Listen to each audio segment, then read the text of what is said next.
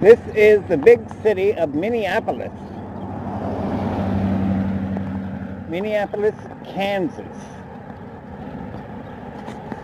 Really pretty houses. Really pretty houses. It's a pretty town. Don't know about the people. Well, we got a squirrel on the loose. Fat squirrel. He's building his nest.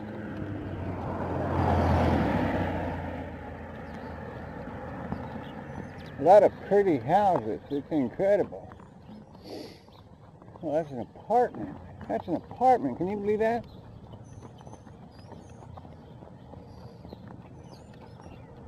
That's crazy. Big old giant house into an apartment. Rainbow Ranch.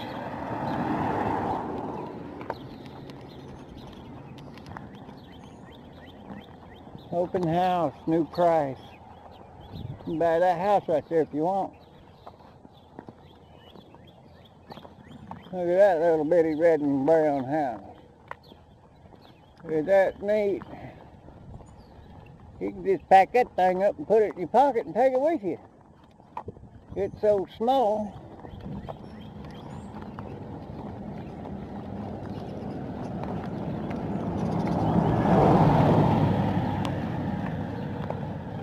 Grumpy's Leathercraft and Repair. Grumpy's, huh? Gifts that last a, last a lifetime. Well, I reckon uh, we turn here to go to the 106. I don't know. I just don't know.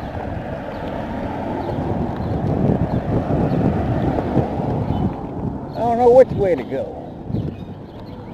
Uh, down here we got another sign. It says something. Very pretty town, isn't it? Very pretty. Pretty, pretty, pretty, pretty, pretty. Pretty nice town. Fancy, fancy. These are often not good towns. Nice looking towns are usually mean and rude people. Self-centered, all about themselves. And that's okay. But they're not usually good towns or nice towns. Poor towns are the good, nice towns. Poor people will help you out way, way quicker than a rich person. There's a reason why they're rich, because they don't help people out. So they have all their money. Poor people are poor because they help people out, but at the same time, people help them out. So, you know, it's just like the church, the first church in Acts, where everybody was giving and receiving, and that's the way it should be, and that's the way it is, in certain towns and certain amongst certain people. Huh, really nice, pretty houses.